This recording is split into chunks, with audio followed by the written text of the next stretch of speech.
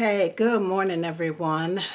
Welcome to another very, very short, short edition of Marilyn's Cafe Society radio show on YouTube. Today is Saturday, April 4th, 2020. And of course, um, uh, first Saturday in the month of April, and boy, has it been a woozy, uh, the month of April, that is. I don't know about you, but I've been in a funk all week, aside from this coronavirus uh, shelter in order that we're all adhering to. You know, life goes on, and you still have other parts of your life that you have to deal with. And so, um, yeah, it's it's been a tough week emotionally, but uh, we we press on, right? We press on, and of course, our prayers and condolences to anyone who has um, lost anyone, period, during this time, but certainly to the coronavirus. Um, I'm hearing the number is now around 7,000 here in the United States. Uh, so it's um, it's quite troubling, but we know that uh, you know, on the other side of this, things will be much better.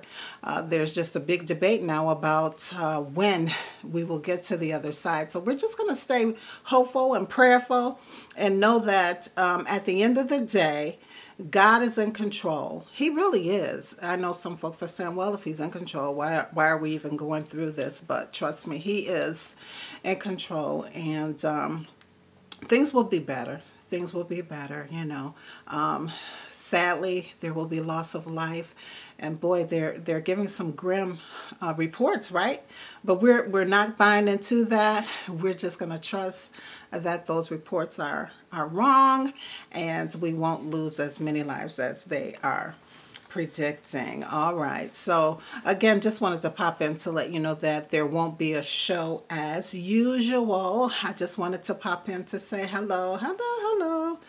And of course, um, just to um, update you guys on progress that we're making. I went into um, the Walmart. I, I think it started Thursday or, or maybe sooner. Uh, Thursday was the first day I had been out in the week. But um, they are doing crowd control now. And from what I'm hearing, they want to keep the social distancing um, order in place. So they're literally counting the number of people who come into the store so that once they hit uh, so many people per 1,000 square feet in the store, they will make everyone else wait until that number dwindles down. So again, um, everyone is doing their part, it seems, to to help us get past this uh, this this thing and to flatten the curve and uh, certainly reduce as as as much risk as we can in all of this. Um, yeah, so Anyway, um, I did want to share a funny story. I know sometimes we have to be able to laugh, right? So um, I jumped on Facebook. I've been spending a lot of time on social media. Um, I just took a break from reading because I couldn't concentrate. There's just so much going on. Um, so I took a break from my books and uh, spent some time on social media, jumping into uh, Zoom meetings and, and all that stuff. And um, but uh, I did get on the Facebook as well, and uh, there was uh, one of my my friends there who shared a funny story. So I'm going to share it with you. Um, maybe it'll tickle you a little bit and kind of lighten the load for you. But but she said that um, she was going to one of the the bigger chain grocery stores, not the Walmart, but one of the other ones, and it was early in the morning, like right at 8 a.m. And um, you know, as she was sitting in the store, in her car pulling up, she observed that there was a line of older people waiting for the store to open. And so um, when she walked up to the line, you know, she asked what was going on. And, and the senior citizen said, oh, you know, from 8 to 9 a.m., it's senior citizen hour. We get first um, opportunity to do our shopping. Uh, so we're just waiting for the store to open. So she said as she was chatting with that particular senior citizen, she observed a young man jump out of his car and literally just walk up into the front of the line.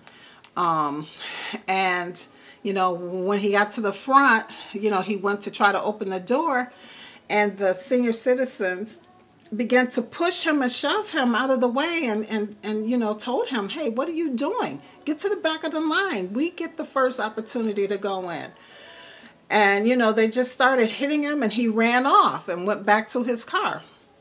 And i guess uh, she said she guessed he went to regroup.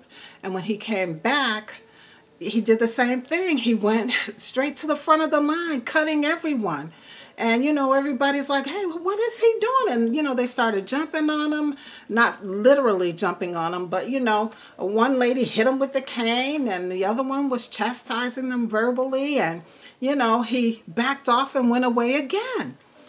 So uh, she said on the third try, he did the same thing, went straight to the front of the line, cut everybody, and they asked him, What is your problem? This is for senior citizens. We're waiting for the store to open. We get to go in first. What are you doing?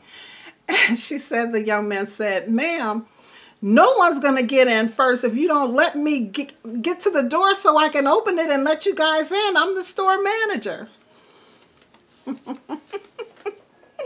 I know. I know, kind of corny, but still funny.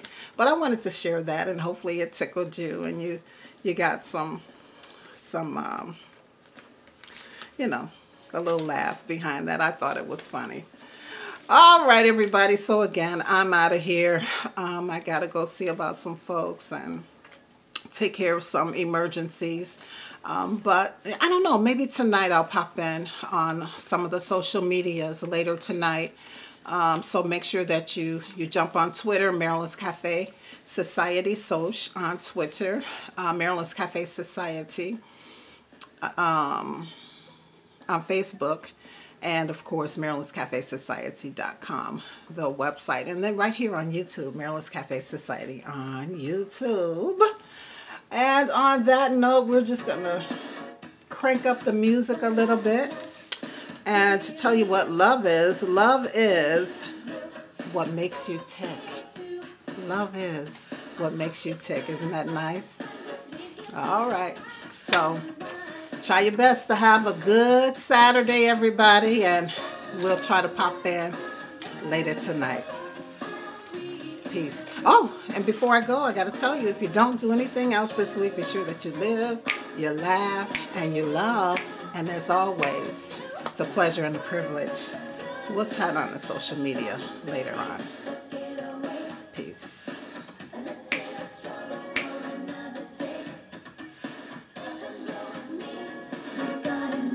By the way, I do not own rights to this good music.